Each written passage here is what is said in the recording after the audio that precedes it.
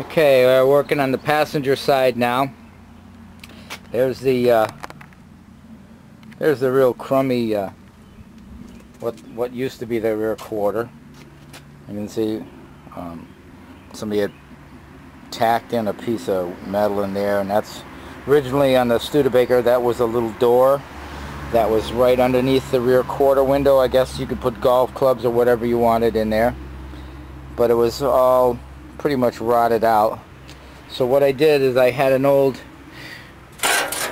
get that out of the way, I had an old Chevy pickup pickup door and uh, I cut up I cut up the metal into, into three pieces I needed right there, there, and there to make the whole panel. I used it because it had a the door had a curve to it and it would kind of match the body curve. So right now it's it's uh, welded along the top and down to the rear wheel well. I don't have this panel here. This is this is actually the inner rocker panel. It's welded to the floor from the from the cowl all the way back to the fender well. But I don't have the right length yet. I don't know have it going all the way back. It, it stops just short, so I got to add a little piece to that panel back here and I don't have the curve how it goes in to the center of the car yet.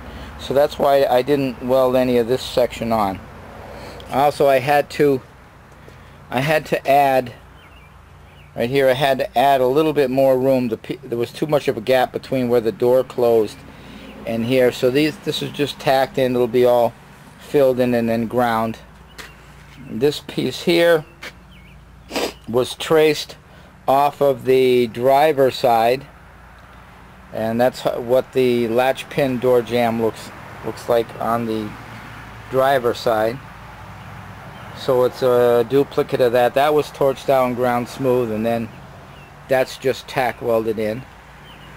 Um, but what I'm going to do now is before before I tie in this section here I need the piece that goes underneath the door there's a, a small section that goes underneath the door which makes the gap between the bottom of the passenger door and the actual bottom of the rocker panel. It's just a, a thin strip.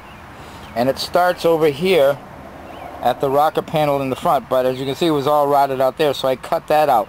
So what I'm going to do now is make a template of the driver's side, the front rocker, trace it under some metal, and then tack in over here. That'll give me this shape.